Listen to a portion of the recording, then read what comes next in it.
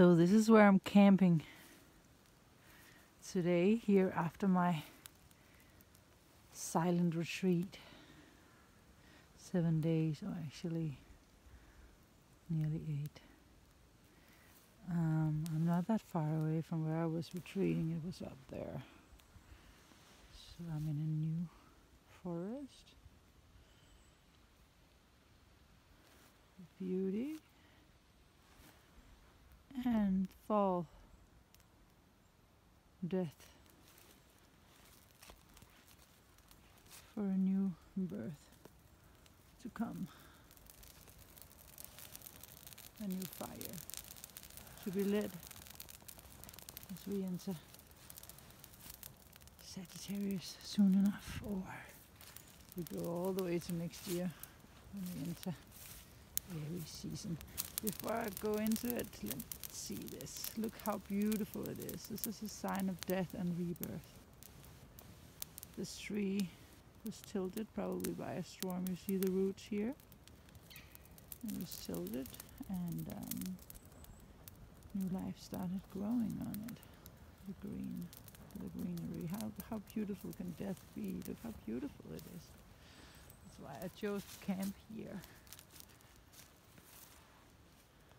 Because I thought the scenery was very beautiful.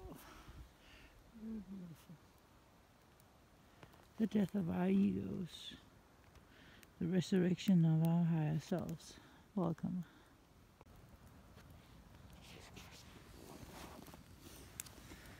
Forgot to take off my sign.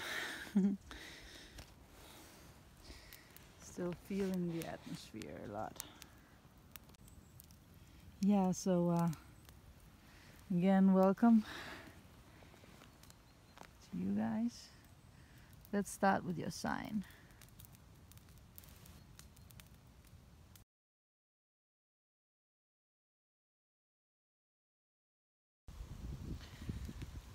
Hi there, Scorpio, and welcome to this week's astrological heartful forecast with your modern shaman Maria Maria and Rainbow Land.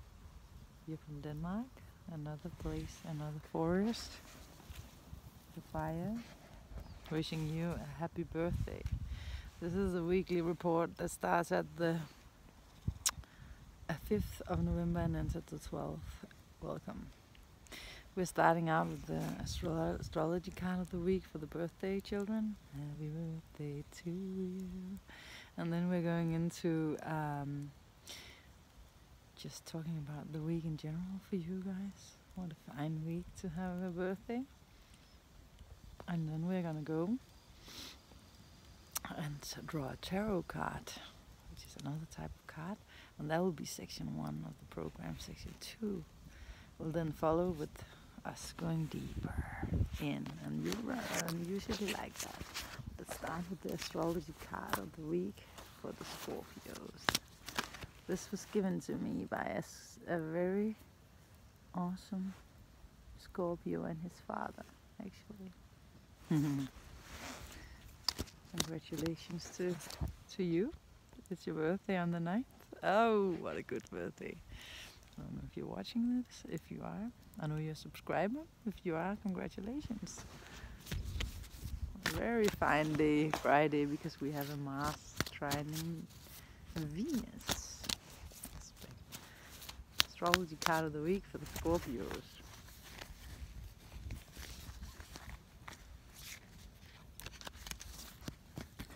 Which means that on the 9th there's a good chance of romance. God of the week his endings and beginnings, 8th house. It's your natural house. This means it's really your time. When something dies, something new gets reborn in a new, a new you know, like when a snake is shedding its skin, it's getting a new skin. And um, this is you rebirthing. This is you having a new moon in your sign on Wednesday. So you're definitely starting a new year and you can choose to be another version of you, even though you already had birthday or have it next week. for the Scorpios. Uh, when the new moon is there, it's the time where where the where the new astro year kicks off, and of course, primarily on your actual birthday. So um, yeah, what an awesome way to start this. so Scorpios, this week we're starting out. Should should we look at the fire instead of me? we are starting out with the moon in Libra in your 12th house, so you still have some purging to do, of course. Um, yeah, spiritual time, you know, to, to meditate and to reflect. Uh, also uh, over how you are in your relationships. Um, and uh, yeah, with the sun there as well, it's all about you.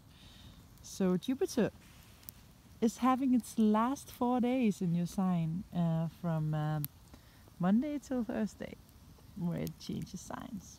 So, but uh, we have um, a very nice aspect on Tuesday between the Sun and in your first house of your identity, who you are, how you shine, and how you share yourself with the world, how you show the world that you are beautiful and what you can give and contribute with, how you teach others to be a better Scorpio, because we all have Scorpio somewhere in our chart, right? So you are there to shine, and it's making a trine with Neptune over there in your fifth house of romance in, in Pisces. So on Tuesday, you might find yourself being swirled into some romantic feelings about someone or some idealized eh, dream about you and your romantic partner, how she could or he could be, uh, just some sweet connection that you have in your life. It doesn't have to be romantic. It's or with your children, or you know, creative ideas of you unfolding yourself creatively. Then um, of course, we are going to talk about your planet as well, Pluto. Uh, Pluto is, of course, as it's been since, since 2007, is in your third house of communication, where it's making big transformations. And this week, it's going to be joining the Sun in a good aspect at the end of the week. So, so some some changes in how you speak and how you communicate, and the relationship with your sisters and brothers. Um, ones that feels like sisters and brothers, neighbors, or you know, um, environment and how you communicate and move around. Could also be with something to do with your car, bicycle, means of communication, meaning computer or telephone or something. Maybe you're getting a new one, one of these things. Who knows? So, uh, and Mars, your other ruler, um, the traditional ruler of Scorpio was Mars, and we still count it in sometimes. It's, it's, it's in your fourth house to do with family, the home, your inner child, the traditions, and your foundation. And um, you've been through a lot here, and, and finally you can look forward with an open uh, and more fresh, uh, you know, mindset and more self-esteem in this regards. We also have Mercury, the planet of communication, now in your second house, so there's there'll be some more clarity around how your resources, where they are coming from, new ideas about where they could come so, come from in the future, a new era here, and um, where your values are heightened and your self-esteem is heightened, your self-worth, and clarity uh, around beliefs around the, the ouch ouch ouch some fire I, I caught some fire in my hand. Oh so this is extra important.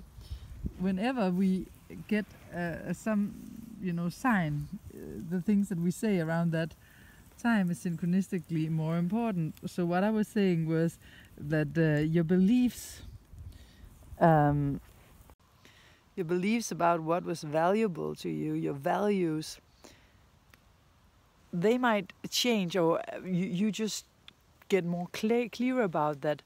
It's not about what the world around you expect from you or what you know society at large your friend groups your television pol politics uh, politicians uh, parents etc it's about your heartbeat, what is in your heart, what is stirring in your heart, and maybe you're getting more clarity about what you actually believe is right for you. Because you are always in a process, we're always in a process. So if your grandfather, who is 60 years older than you or 70 years older than you, he thinks he has a better idea about how to do things. Um, yeah, well, he's been through a lot, so you cannot just, we cannot, we also have to go through what we have to go through, and you're realizing some things here about your values, where you are right now in your evolutionary process. So, but Uranus uh, is in your seventh house of Taurus of your relationship, and depending on if you're more than 30 years old, he will now go retrograde into Aries for the last time of your life. If you're younger than that, you might experience this when you are around 100 years old, uh, but or maybe 90, depending on how young you are. uh, but with Uranus um, going back into Aries in your sixth house, it will be clearing the last tensions and you'll get the last epiphanies and downloads here to do with your daily routines, your health, your diet, uh, how you do things, how you work with details in your life. What is it you do when you get up till you go to bed? How are your routines? Are you going to sleep early enough for you to get enough rest? Are you getting incorporated the right eating routines, um, etc.? You have half a year left of you getting new ways of living your life in a healthy way, getting healthy routines, work um, work habits as well for the next half half a year, and it goes in there on Tuesday. The new moon on your sign is on Wednesday. You start a new a, a month of where you really focus upon who you are in the world, and then on Thursday Jupiter is coming home we have Jupiter at home, Venus, Neptune, and Saturn at home, each of their sign. And this is in your second house.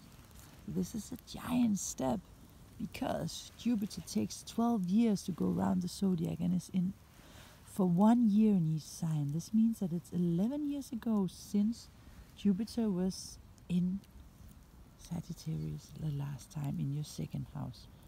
11 years ago and it means that there will be a giant projector here like a guru here who will put you on the the school back in school and teach you about how things are working with your self-worth how what is not working if you're leaning upon upon some outer value which is not the right value for you that you think that oh because i look good I'm worth something.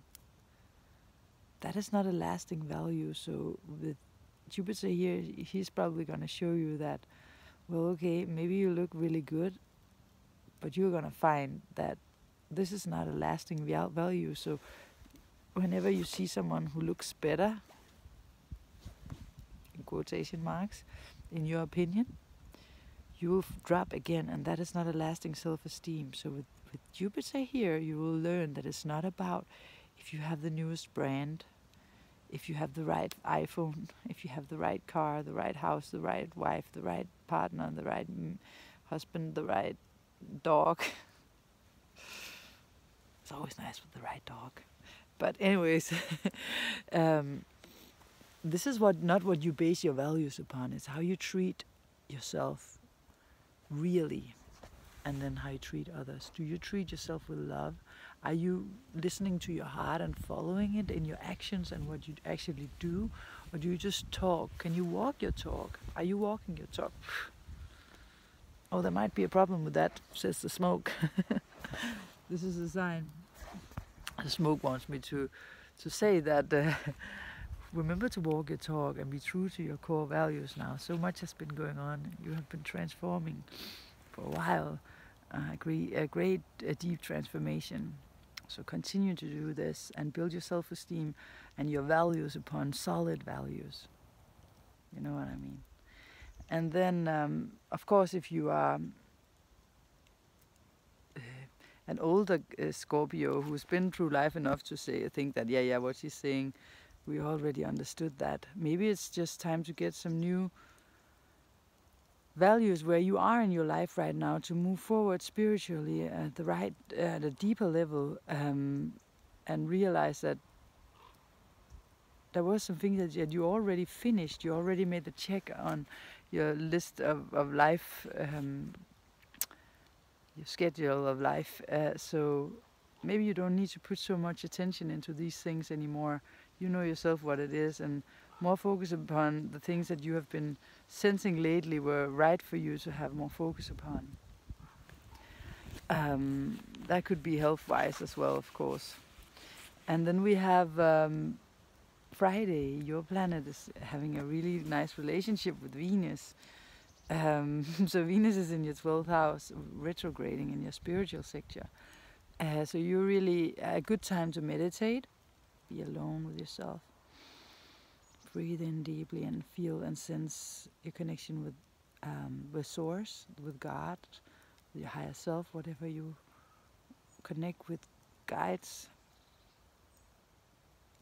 And then let yourself be freed and released from things.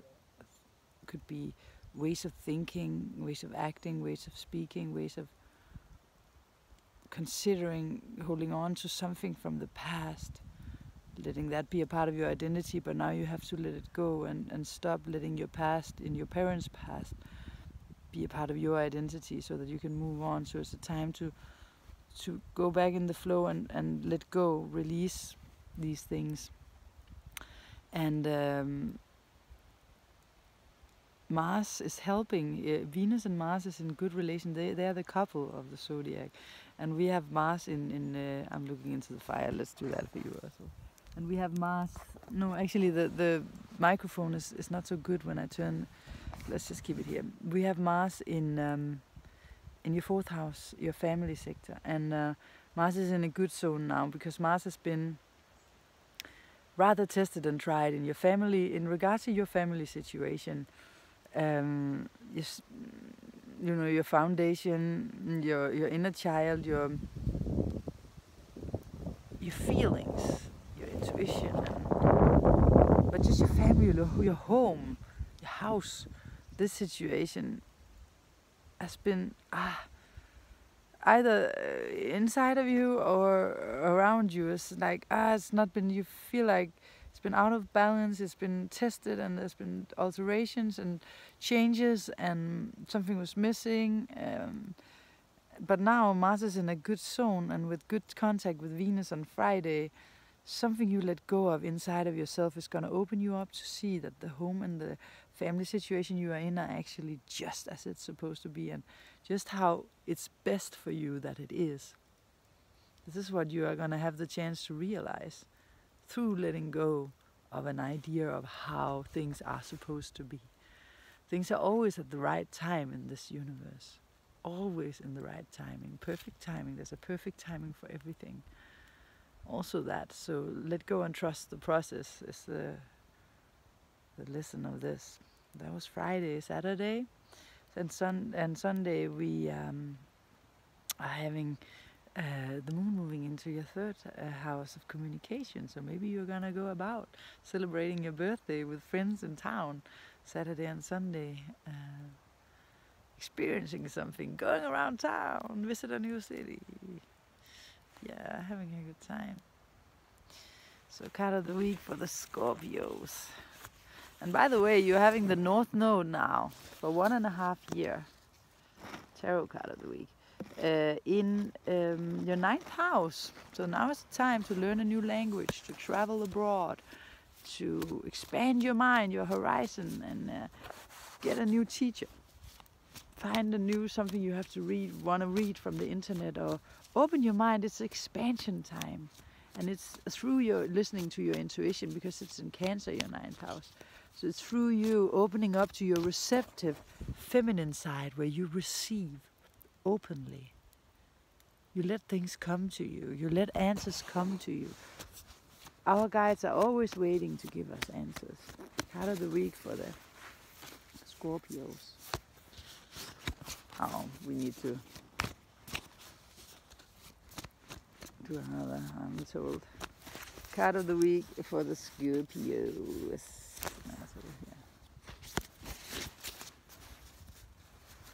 Yeah, with Venus, the moon starting out in your 12th house.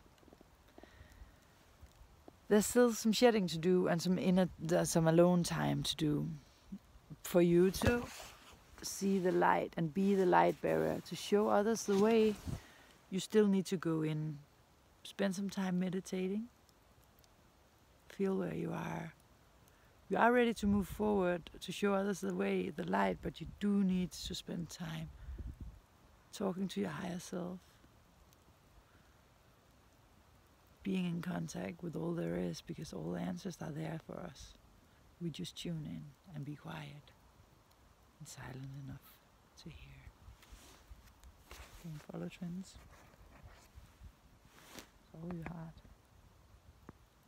See you next week. Or at section two.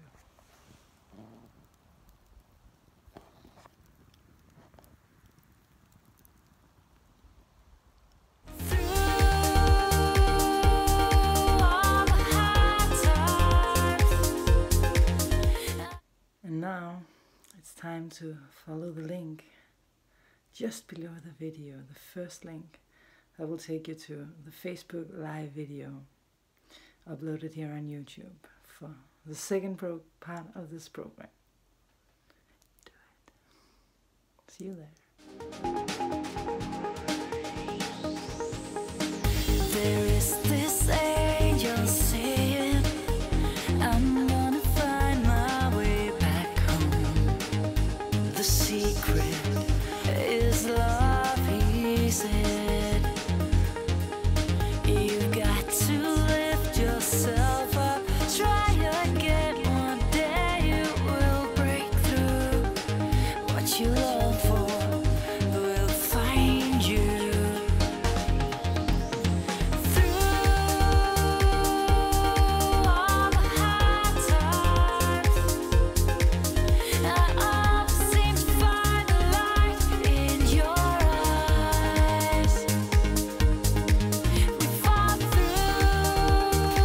Don't follow trends, follow your heart.